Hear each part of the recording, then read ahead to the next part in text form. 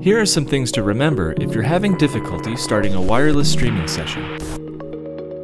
Before getting started, make sure your headset and PC are set up for wireless streaming. If you haven't set them up, check out our other Vive streaming video. Is the latest version of Vive Streaming installed on your headset?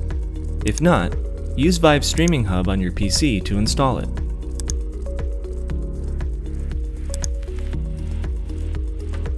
Next, connect your PC to your wireless router using an Ethernet cable.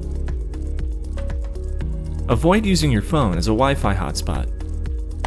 This kind of connection typically doesn't have the bandwidth to support wireless streaming. Also make sure that your headset and PC are connected to the same network.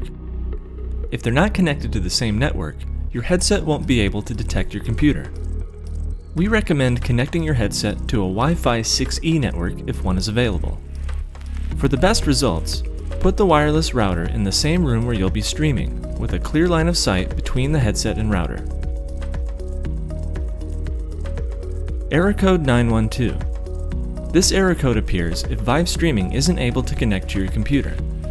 If you're seeing this even after following the recommended steps to resolve the issue, check the firewall settings on your computer and wireless router.